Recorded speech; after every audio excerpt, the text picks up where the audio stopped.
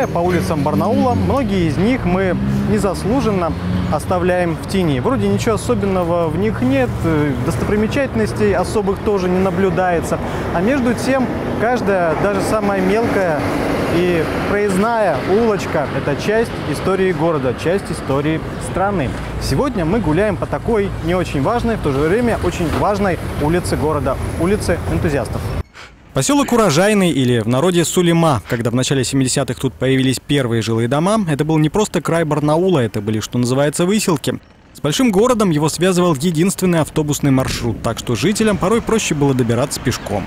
Название улицы энтузиастов прямо как слепок того времени, когда ради светлого будущего и высокой цели людям приходилось преодолевать множество неудобств.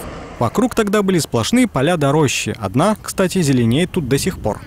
Если брать всю территорию парка в целом, даже несмотря на наступающие новостройки, он остается на сегодня крупнейшим парком Алтайского края.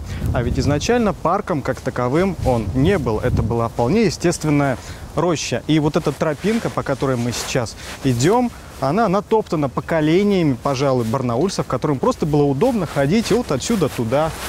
В 1985-м, в самом начале перестройки, здесь был организован парк развлечений. Тогда же появился небольшой зооуголок, этакий прадедушка нынешнего знаменитого барнаульского зоопарка.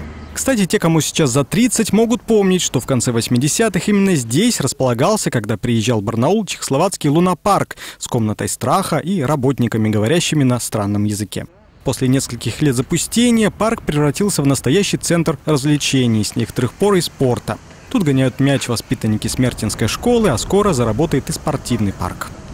Еще одна не самая заметная, но достопримечательность улицы энтузиастов – это вот этот э, интересный очень забор, крашеный, уже перекрашенный черной краской. Э, стоит он здесь, ну, годов с 80-х точно. Есть один артефакт, память о Советском Союзе, звездочка.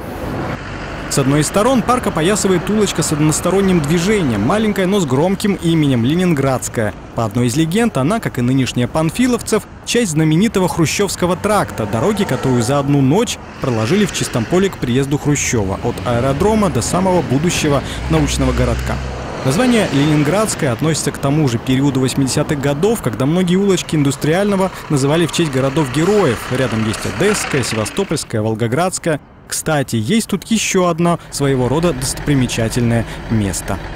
А сейчас, уважаемые зрители, мы находимся в одном из культовых, без преувеличения, мест не только улицы энтузиастов, но и города Барнаула. Таких по городу несколько, и их знают наперечет все-все-все, кто э, зиму проводит за чтением специальных книжек по садоводству, а как только наступает весна, начинают высаживать рассаду и с первыми теплыми деньками отправляются за город. Да, отсюда начинается один из садоводческих маршрутов города Барнаула. Неудивительно, если ехать в сторону аэропорта и дальше, то дачные поселки идут буквально один за другим. Их стало особенно много в трудные 90-е, когда для многих людей огород остался единственным источником пропитания.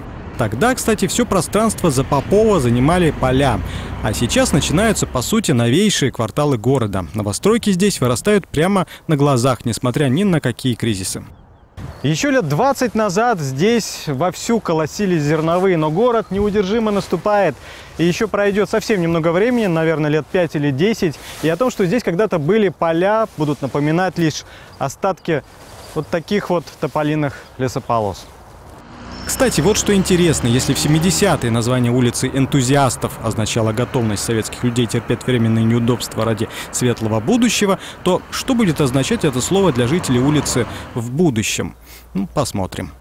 А на этом мы нашу небольшую прогулку сегодня заканчиваем. И в следующий раз прогуляемся по какой-нибудь еще улице краевой столицы и узнаем о ней что-нибудь да новое.